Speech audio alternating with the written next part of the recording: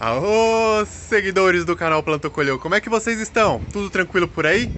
Hoje nós vamos falar finalmente sobre a Néspera, ou a ameixa amarela, como alguns conhecem aí, tá?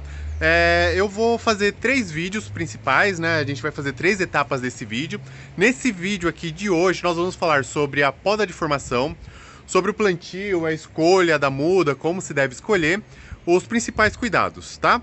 Na, no segundo vídeo, nós vamos falar é, dos cuidados com os frutos. Se vocês dar, darem uma olhada aqui, ó, deixa eu colocar aqui mais pertinho. Aqui, ó. Nós vamos falar sobre os cuidados dos frutos, a colheita. E no terceiro vídeo, nós vamos falar sobre a podação e a preparação para uma, uma nova safra, tá bom?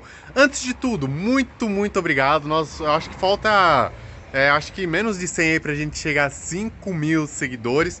Tô pensando, galera, na... Eu acredito, no ritmo que tá crescente aí, eu acredito que mais dois ou três meses nós chegamos a 10 mil. Eu quero fazer alguma promoção para vocês quando chegar a 10 mil. É, o que, que vocês acham? Distribuição de semente? É, eu pensei em algumas mudinhas, mas é, eu tenho muitos seguidores que são de fora aqui do estado, eu tô em São Paulo. Tem gente da Bahia, Alagoas, Minas, meu, tem gente de tudo quanto é lugar. Então eu tava pensando em alguma promoção para vocês. O que, que vocês acham? Qual a sugestão de vocês? Coloca aí. É, eu pensei em semente, sei lá, distribuir 10 tipos de semente para vocês. É, aqui em São Paulo tem um lugar próximo onde vende as sementes selecionadas, uma semente muito, muito boas mesmo. Não, não sei, né? Dá, dá alguma sugestão aí pra, pra mim, tá bom? Vamos, vamos falar um pouquinho da, da Néspera? Eu vou virar o vídeo que vai ficar um pouquinho melhor, peraí.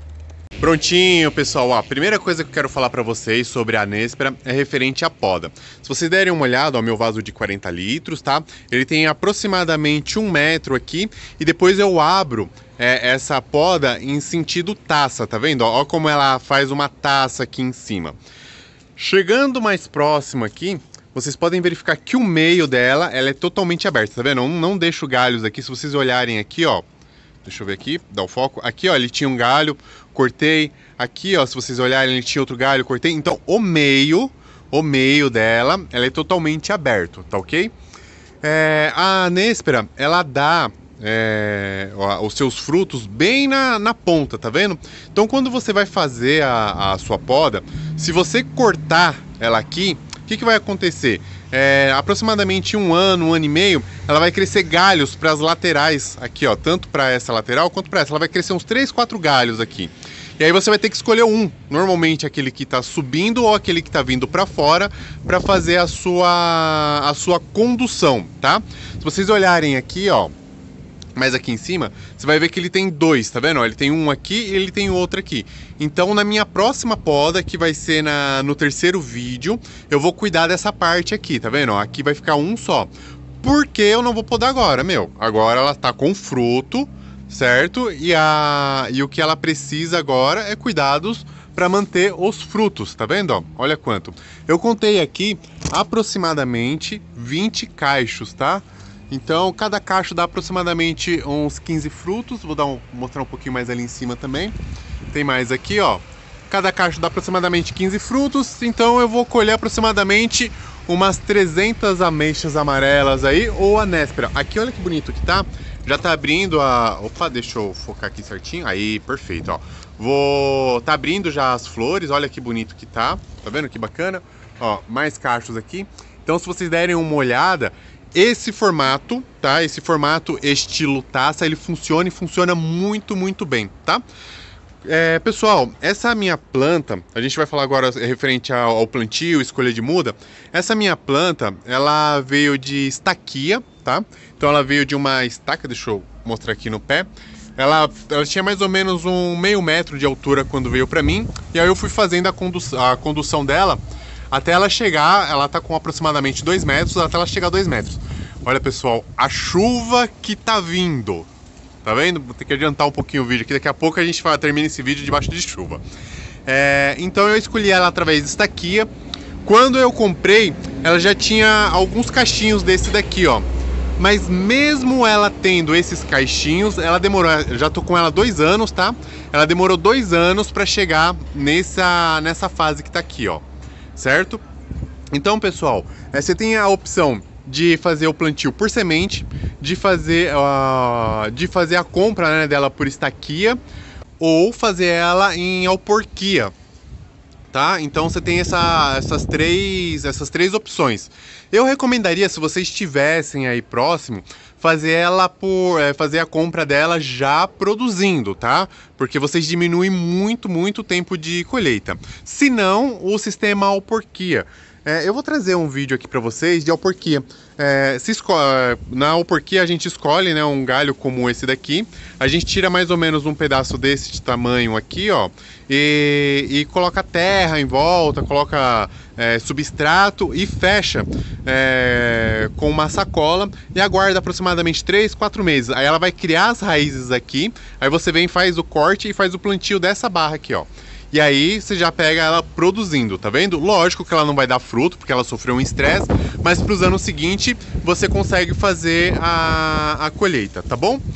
Pessoal, falando agora dos principais cuidados com a, com a Néspera, tá? Adubação. Meu, a minha adubação, você já conhece o canal, a cada 45 dias, tá?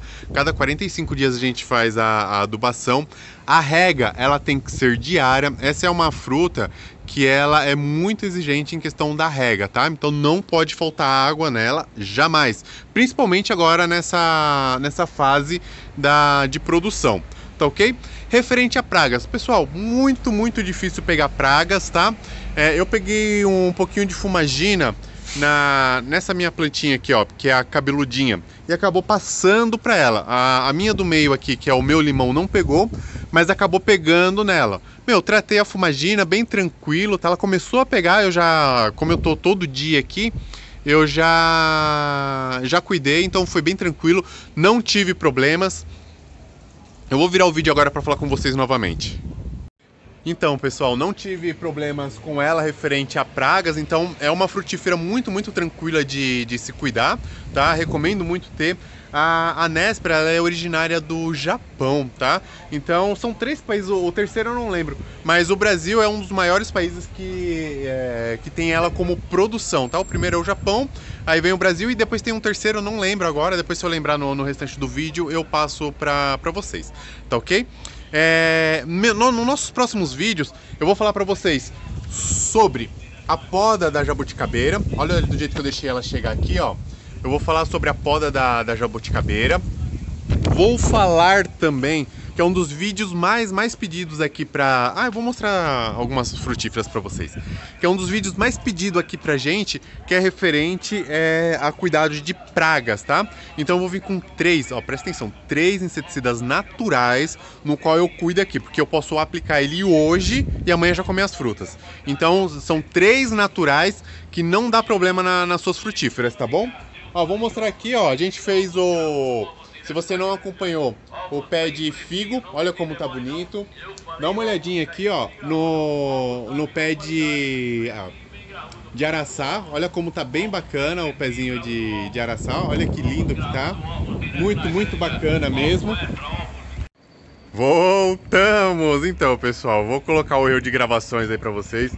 Veio um, um vendedor de ovos aqui, parece que ele escolhe ó, os horários que eu vou fazer os vídeos tá? Então eu tava passando para vocês o, o pé de figo, aqui o pezinho de, de araçá, olha como tá bem bacana. Eu vou dar um zoom aí para vocês verem, olha que lindinho que tá. O, o meu pé de jabuticaba, eu deixei ele chegar nas condições que eu mostrei agora para vocês, que eu vou vir fazendo a poda bem detalhada. Se você tem jabuticaba em casa, você não pode perder o próximo vídeo, que vai ser sobre a poda do, do pé de jabuticaba. Meu vai vir bem detalhado, vocês vão ver o meu pé de jabuticaba praticamente explodir em produção, tá bom? É... Ah, outra coisa, o próximo vídeo da, da uva, que é aquele que tá ali no canto, deixa eu ver se dá pra ver aqui, ó. Esse daqui, ó, pé da uva, tá vendo?